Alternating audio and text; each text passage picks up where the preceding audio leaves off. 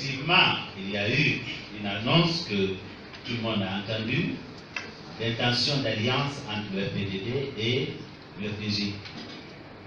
Mais je crois que chacun avait aussi bien entendu que c'était dans le cadre du second.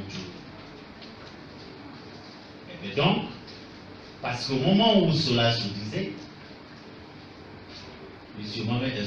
Moussa Dadis Kamara était également annoncé être dans la course. C'est parce qu'il a été empêché par le gouvernement se de rentrer dans son pays et probablement de poser sa candidature qui n'est pas aujourd'hui parmi les candidats à ces élections présidentielles. Donc, il n'y avait pas, je crois, pour commencer une clause qu'un parti soutiendrait un autre au premier tour. En ce qui nous concerne, c'est juste après la validation de notre candidature que nous avons été vers un ensemble de partis politiques. Dont nous considérons avoir, n'est-ce pas, les mêmes idéaux ou les idéaux proches des nôtres pour solliciter, n'est-ce pas, leur soutien pour renforcer notre candidature. Ce fut le cas pour l'ensemble des partis ici présents.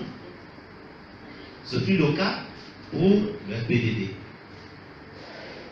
Et c'est avant-hier que le vice-président, Dr Pibi, m'a appelé personnellement pour me dire qu'ils sont prêts à nous donner la suite à notre quête.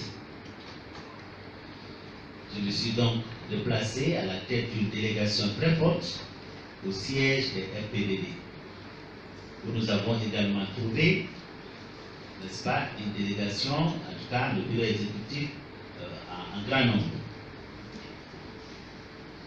Tous les détails ont été présentés, les consultations qui ont été faites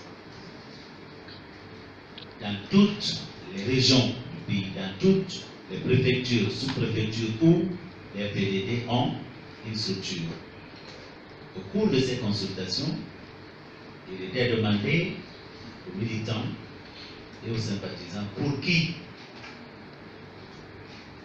le, le FPDD devait, ou les FPDD devaient euh, voter au premier tour de ces élections. L'information qui nous a été rapportée et qui nous a enchantés, c'était de dire que le candidat que je suis avait la faveur des militants à la base. Et donc, cela a été consigné dans un document écrit, n'est-ce pas? Un document qui comporte un certain nombre de réglages que nous sommes en train de faire. Mais déjà, le soutien, lui, il est.